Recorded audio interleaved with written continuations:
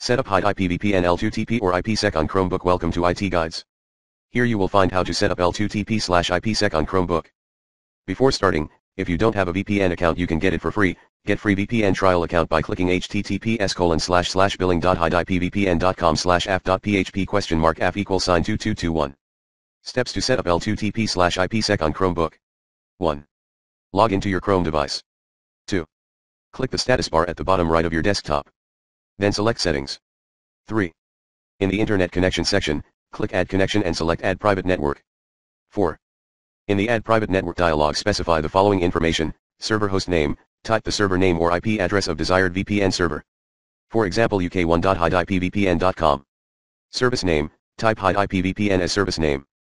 Provider type, select L2TP slash IPsec and pre-shared key pre-shared key, hide Username, enter your VPN username. Password, enter your VPN password. 5. Once done click connect. 6.